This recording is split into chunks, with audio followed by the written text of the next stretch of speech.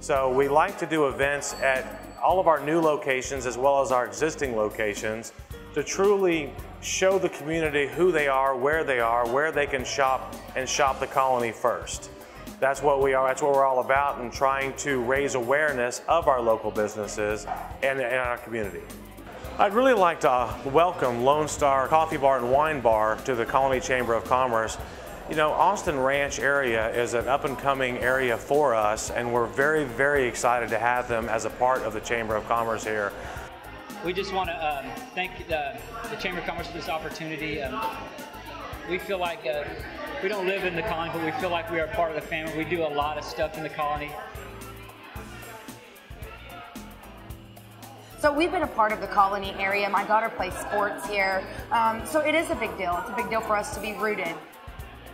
And we just wanted to have a place where people could come and relax, not feel rushed, you know, get a good meal at a decent price and have a great, great cup of coffee and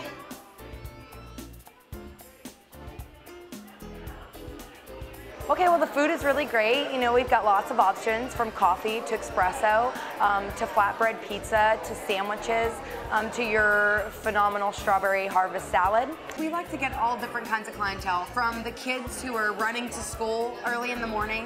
Um, I have a couple of high school kids that run through here to get a fruit smoothie and a kolache before they get to school.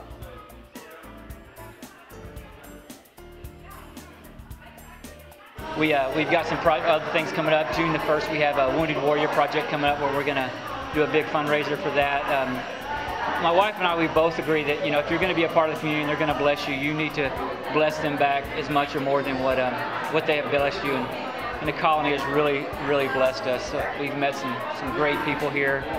Along with coffee comes a lot of conversation, so we've been able to really listened to a lot of people that it's opened our hearts to us about things, and we really love the town. We do a lot of work here, um, and uh, it's uh, it's great to be a part of it, and we're just very happy to be a part of the Chamber of Commerce.